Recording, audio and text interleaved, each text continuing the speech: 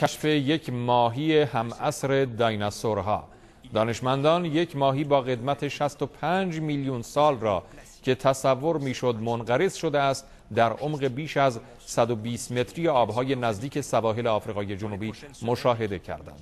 ماهی افسانه‌ای سلکانت بیش از دو متر طول دارد.